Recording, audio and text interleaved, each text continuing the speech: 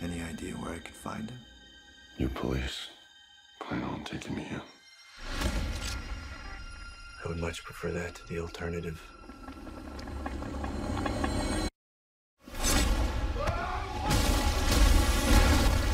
What I had in mind, what I envisioned the character be character to be, even as far as delivery of some of the lines, wasn't really what uh, Denis had in mind.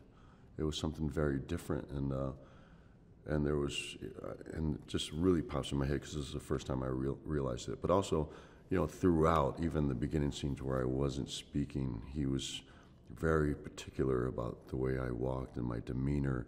He wanted this character to feel like he had just been beaten up through life and he just had the weight of the world on his shoulders.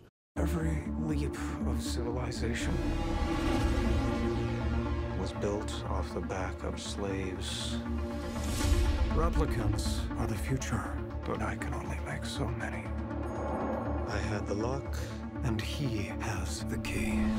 I was younger when I saw it, and I think for a lot of different reasons. I think, for one, I was, you know, because of my age, the film just didn't resonate with me as much as it did when I was older. But I also think that Blade Runner was really ahead of its time, and I don't think a lot of people then didn't appreciate it for what it was and how beautiful it was. Um, but it was as like the years went by because I've owned so many formats of Blade Runner um, with VHS and uh, and, DVD and Blu-ray, and uh, but I think it's it's really as I each time I watched it, I just picked up something different.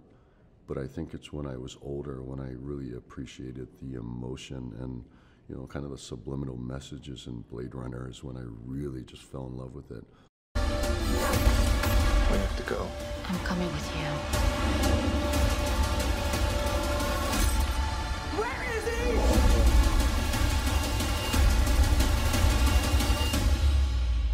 It's a beautiful story. At the same time, it's it's it's a terrifying insight, you know. So so it's really it is it's very thought provoking. I think that's the perfect way to put it. It just really makes you think. And there's this is one of those films you leave, and I left, and all I wanted to do was talk about it. The future of the species is finally unearthed.